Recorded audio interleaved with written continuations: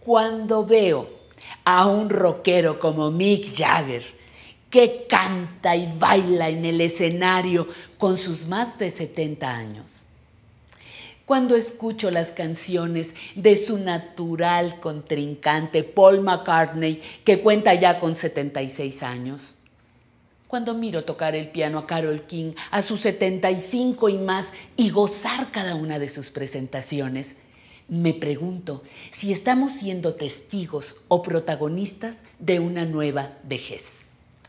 A los 70, 75 años, nuestros abuelos y abuelas estaban en un estado de quietud imposible de igualar ahora.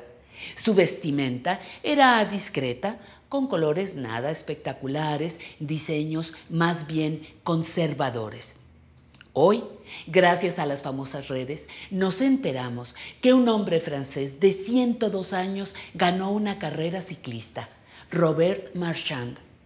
Sabemos que existe una mujer con casi 80 años que es campeona de fitness, Ernestine Shepard.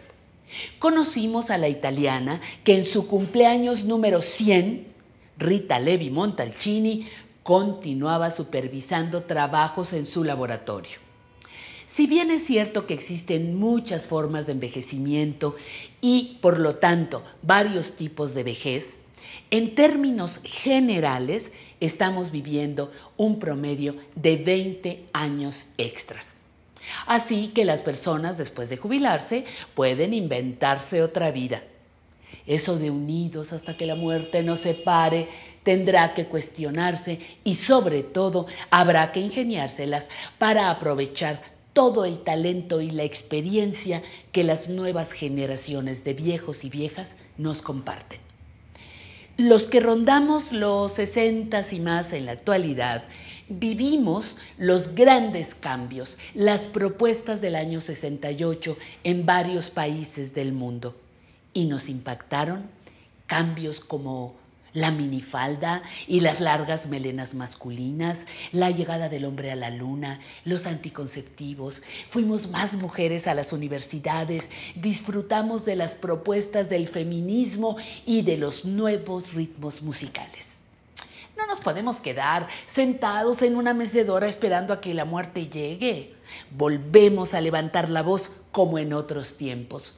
El reto, les decía, es aprovechar la experiencia y el talento, combatir el desempleo producto de la edad y permitir que esta nueva generación de personas adultas mayores ejerzan ese derecho humano fundamental que es el derecho al trabajo. Pero también habrá que defender otros, como el derecho a la salud, al buen trato y a vivir sin ningún tipo de violencia el derecho a la vivienda digna, a la no discriminación por edad, derecho a la propiedad, a la cultura y muchos otros que están, por cierto, contemplados en un documento de suma importancia, el de la Convención Interamericana sobre la Protección de los Derechos Humanos de las Personas Mayores, al que esperamos nuestro país se adhiera muy pronto.